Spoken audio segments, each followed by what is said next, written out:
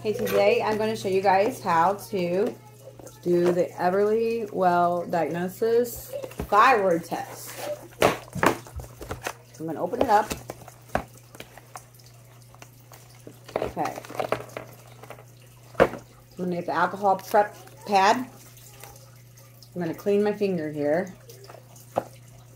You will see also this little card inside. You're going to open you're going to open it. See these circles? You're going to fill every one of them circles up with blood. It's quite a bit of blood you got to put in it. So, here's what you got to be careful about. This is the needle. You're going to like push it in and pull off like that. Get your finger. It's easiest if you just put it on the table and push. It is scary. If you do on the side, it bleeds more. I'm scared. oh, I did it. Ooh, yes. See that?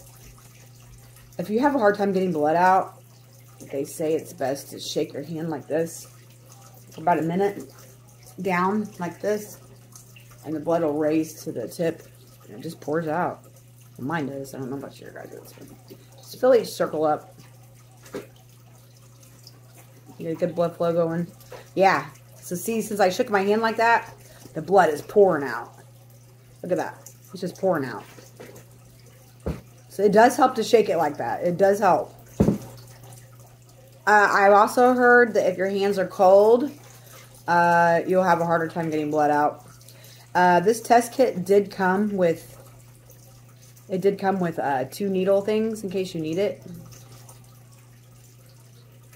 You want to fill every circle full, like this. See how those are all full? And make sure the whole entire circle is full. Okay. And wipe it back off when you're done. Alright. It comes with this little baggie here. You want to take this packaging out of there. And you're going to slide this back in here like first you want to fill out the form. You got to fill out your name, collection date, time, date of birth. Underneath this, you will find a Band-Aid, which is nice to have when you're bleeding like this. Yeah, that, that, that's a good needle. It made me bleed bad. Okay. Just going to bandage myself up real quick. And I'll show you what else you got to do. It's actually pretty quick and easy test to do. So, that's done. Underneath this, you will also find a bag. This is what you put back in the mailbox, okay? Get this sticker. This is its return label sticker. You're going to attach that on there.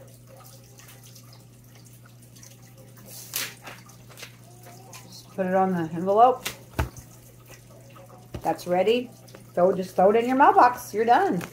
Okay, I'm just going to go ahead and throw the rest of this stuff away. Uh, one thing you do not want to forget, save this.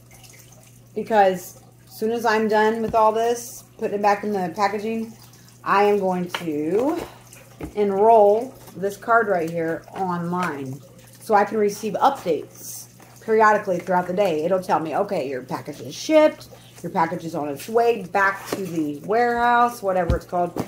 Um, we've received your item. Your results are pending. I mean, it tells you everything you need to know, which is quite nice. So, I'm going to throw away all this. I got my little lab bag. I'm going to put this card, the blood card, back into the lab bag. I'm going to seal it up. I'm going to put it in the postage bag, and I'm going to put it in the mailbox. I'm going to hold on to this right here, and I'm going to register it. That's all you do. It's that easy.